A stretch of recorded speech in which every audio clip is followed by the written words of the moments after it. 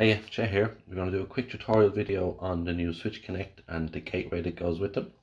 So the setup I have here today, I'm in the office and in the office I have a GLS tunable in the ceiling called Office Ceiling. And then I've got two Ultimum downlights called Office Task 1 and Office Task 2.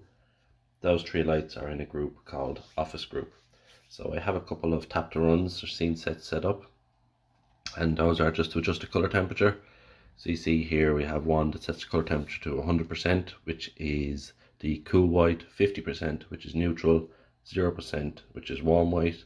And then I have a office task lighting reverse switch. So reverse switch is like a, a toggle or if it's on, it'll turn off or if it's off, it'll turn on. And then for the ceiling light, I have a reverse switch as well. And then for the whole office, we have reverse switch or toggle too. So those scenes are already set up and they work with the lights here.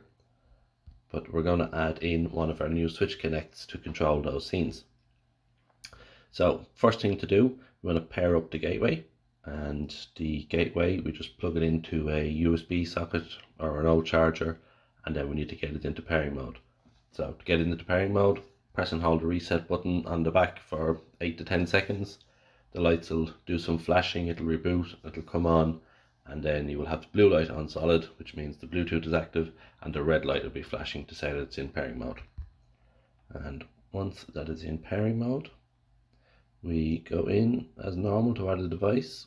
We hit the plus icon and you'll see because this device has Bluetooth it's already discovered.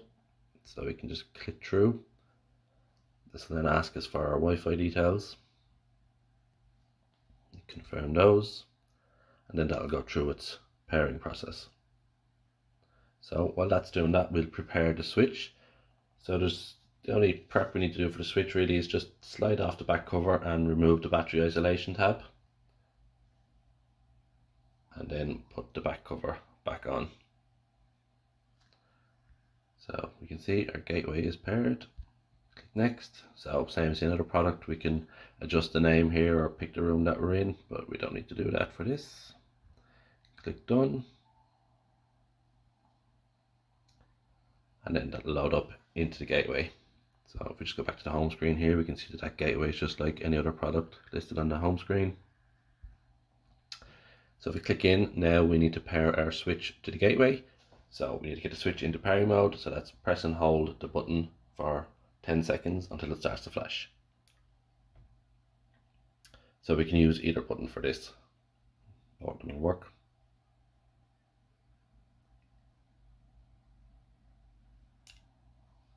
once that light starts flashing, we then click search new device, confirm that it's flashing, and this will search for any Bluetooth devices.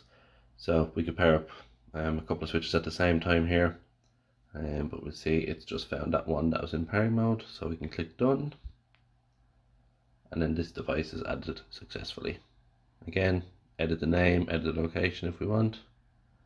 Press done, You see that switch appears under our gateway, but also if we go back to the home screen, it's then on the home screen as a separate device as well. So once the switch is paired up, it doesn't actually do anything. We need to tell the app what we want this switch to do. So on the switch, we have two buttons and each button can do three different things. So we've got a single press, a double press and a long press for each button.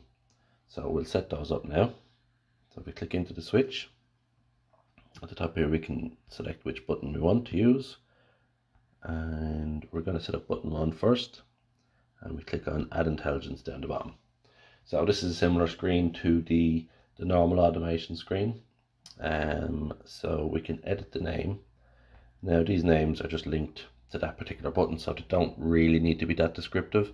So what I like to do is just call it press double or long depending on which action I'm going to configure. So we call this one press.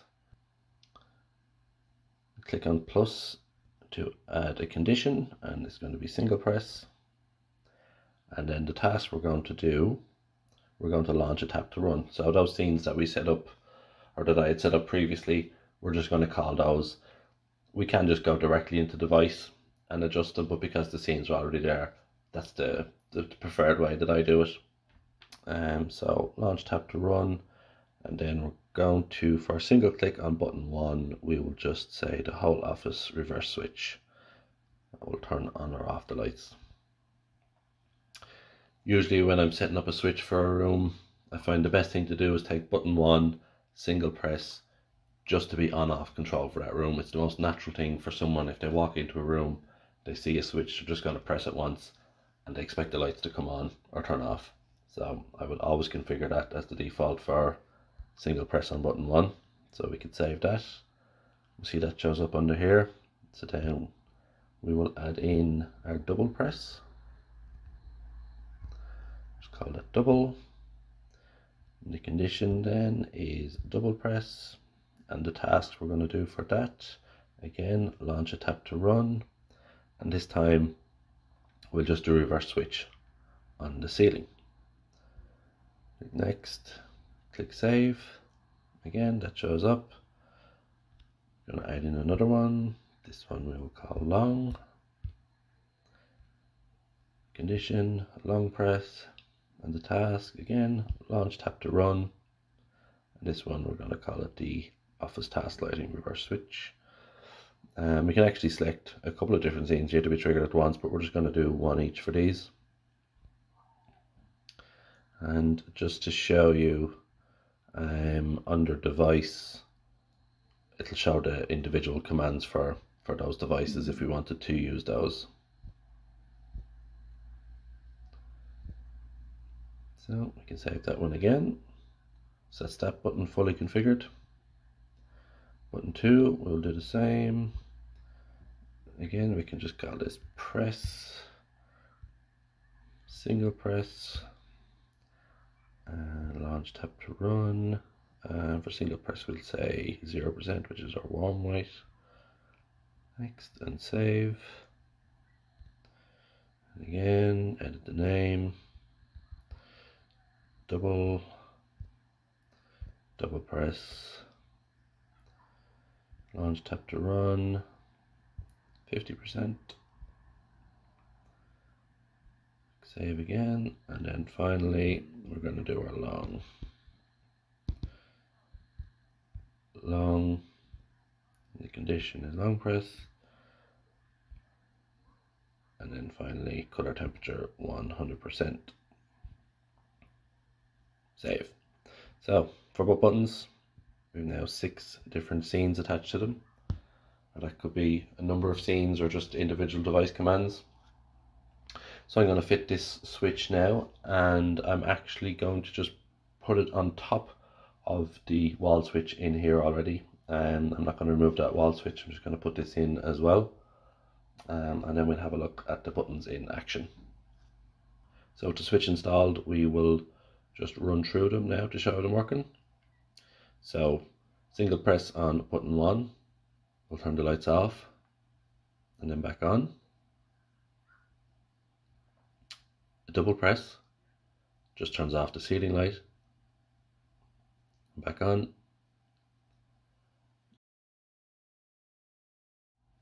And then a long press, which is three seconds, turns off the task lighting. And then it will also turn them back on. So button 2 on the switch, there's the color temperature. So single press goes warm white. Double press goes to neutral.